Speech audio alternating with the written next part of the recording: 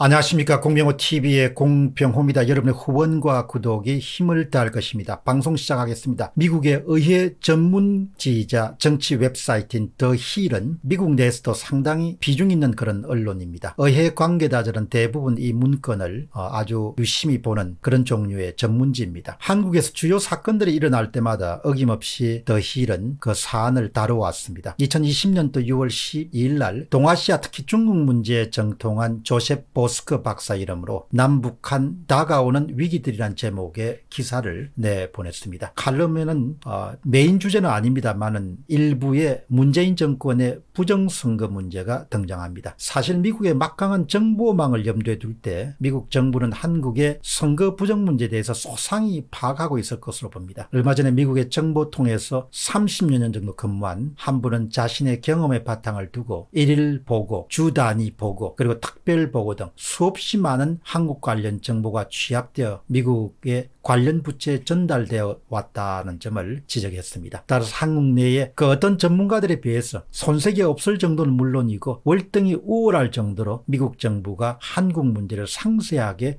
파악하고 있을 것입니다. 라고 그렇게 30년 정도 미국의 정보통으로 일해오신 분들이 이야기를 했습니다. 조셉 보스코 박사의 더 힐 칼럼에서 한국의 부정선거 문제는 뭐 크게 다루지지 않았습니다. 그러나 칼럼의 전후 맥락 문제를 염두에 두면 북한이라든지 차이나 연계설까지 염두에 두고 있음을 짐작할 수가 있습니다. 칼럼에 나오는 문재인 정권의 선거 부정 내용은 다음과 같이 소개되어 있습니다. 한편 한국에서는 최근 총선에서 문재인 대통령이 이끄는 있는 집권 여당의 압도적인 승리가 점점 더 커지고 있고 어느 정도 신빙성 있는 투표 부정 의혹에 직면하고 있다. 그러니까 투표 부정 의혹이 점점 점점 더 커지고 있고 투표 부정 의혹이 처음에는 의혹 수준이었지만 점점 신뢰성 있는 그런 정보들에 의해서 지탱되고 지지되고 있다는 점을 지적한 겁니다. 칼럼 계속됩니다. 한국은 서구에서 의혹의 대상이 되어 왔을 뿐만 아니라 중국 외교 당국이 자신의 목표 달성을 위한 외교 정책의 도구나 수단으로 활용하는 중국의 통신사 화웨이가 관계된 투표 시스템을 사용하고 있다. 이 부분은 이 칼럼 쓰신 분이 정확하게 알지 못하는 그런 부분이기 때문에 다소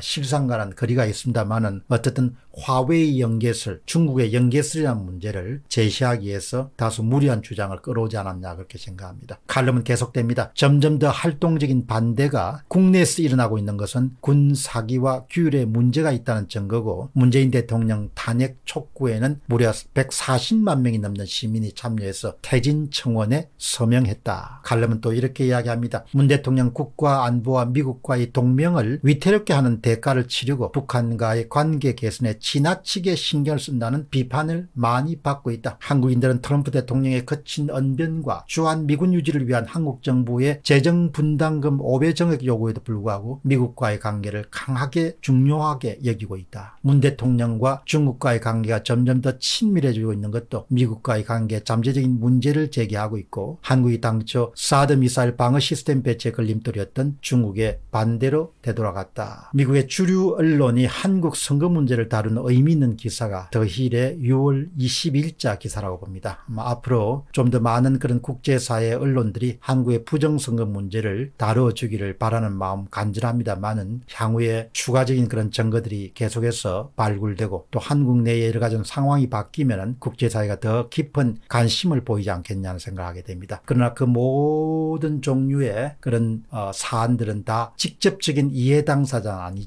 이해가 직접 걸려있는 사람은 자유 민주주의 체제와 자유시장경제 체제를 스스로 지키고 보존하고 유지하고 성장시키고 발전시켜야겠다는 국민들의 의지가 있어야 되는 것이 우리가 우리 것을 지켜야겠다. 그 의지가 있을 때 비로소 국제사회도 따뜻한 격려와 관심을 가져주지 않겠느냐는 생각을 하게 됩니다. 정말 선거 문제는 너무너무 중요합니다. 그것은 체제의 존폐와도 관계되어 있고 우리의 삶과 아이들 세대의 삶과 직접 연결되기 때문에 더 많은 국민들이 실상을 정확하게 직시하고 이해하려고 하는 그런 노력들이 필요하다는 것이죠.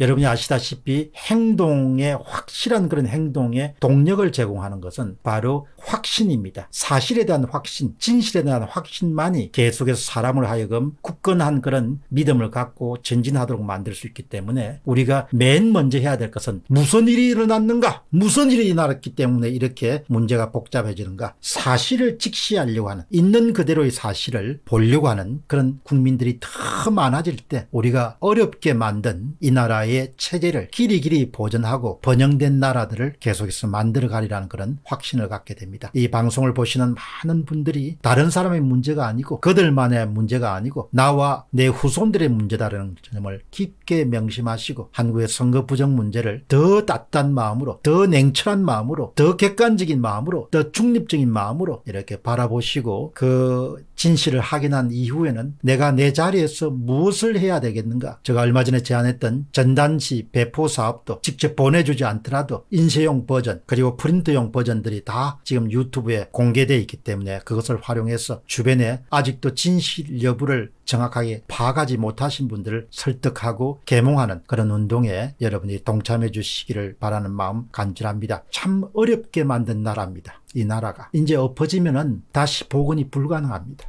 공병호 TV의 공병호였습니다. 감사합니다.